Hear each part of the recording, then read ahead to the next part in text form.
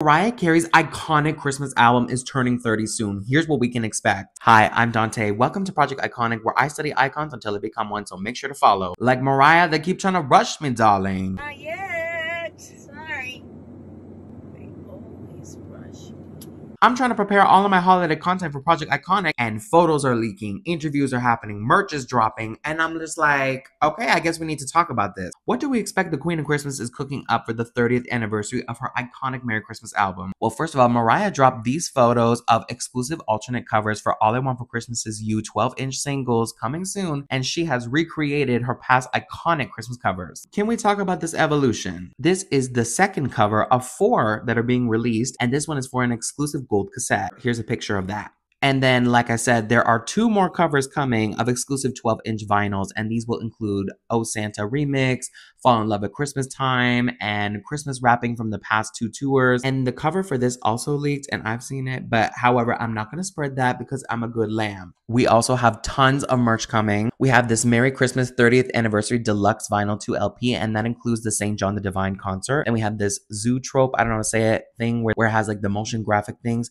We have this Merry Christmas cassette, which I already pre-ordered. And then we have this picture disc of Merry Christmas. There are also Merry Christmas mobile fidelity versions coming for the best audio quality if you have the equipment for that. Mariah is also going on the road for her Mariah Carey's Christmas Time tour across North America. She also just performed at the American Music Awards 50th anniversary special and she did We Belong Together and Don't Forget About Us. But she's also been doing press and kind of hinting at what's coming. There's also an iHeartRadio interview coming where she's talking about the making of All I Want for Christmas Is You, how it became so timeless, and what she's planning for the future. Jimmy Fallon is already teasing that she's going to be coming on his show to promote the tour.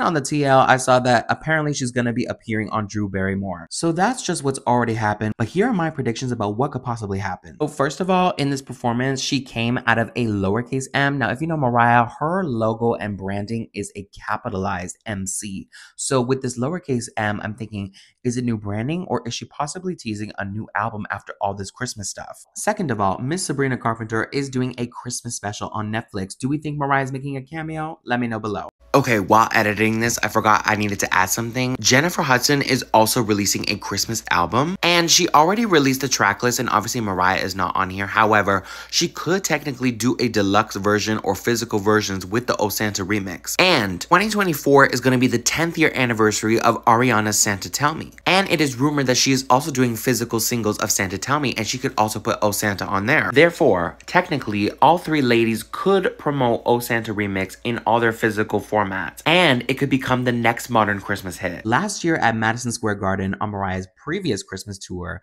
she had Ariana and J Hud on the stage to perform Oh Santa live, and I'm wondering, was this recorded for a special? And finally, do we think that we are getting a new Christmas song from The Vault back in 94? It's a conspiracy, but you never know. So much coming, little time to prepare. It's almost time. She is defrosting.